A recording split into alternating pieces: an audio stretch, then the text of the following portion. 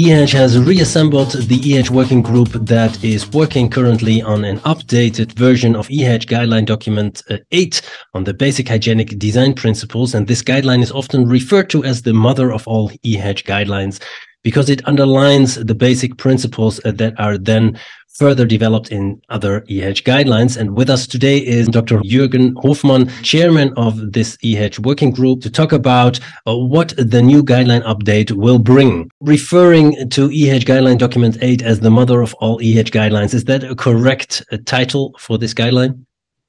It's not because it's the number 8, uh, but uh, it is indeed the, the, the mother, so the, the base of hygienic design.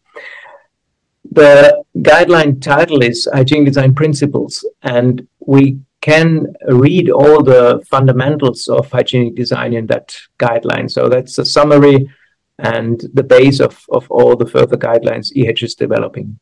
For those here who have not yet read this important document, can you tell us a bit about how the current EH Guideline Document 8 is structured? What is the scope of this document? Yeah, we have different chapters. So the uh, the, the, hygienic design principles is, or to adopt the hygienic design prin- principles in the food industry is related to our, all our equipment we use for production and also for the factories itself. So the rooms uh, where you have the production.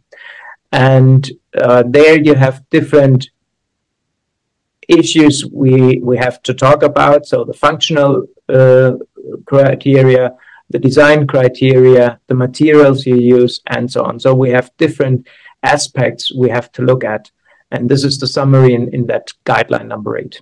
Since any adaptation in this guideline 8 might affect uh, the other guidelines and consequently also the certification and uh, even the training offerings of EHEDG, I guess we all would like to keep a close eye on what the next update will bring.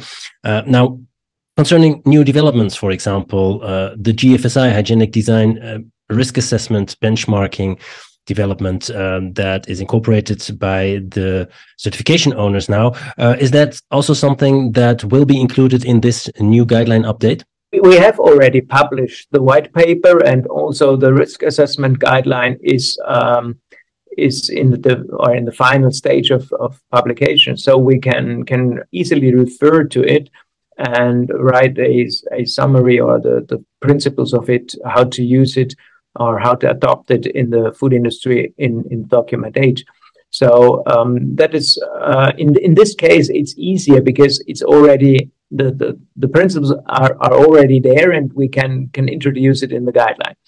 So uh, the other thing is that for new guidelines for new working groups, it is important that they follow the principles of hygienic design of guideline 8 so they should always start with these principles read it and uh, take them into account by developing new requirements of uh, the design of their specific equipment they are dealing with.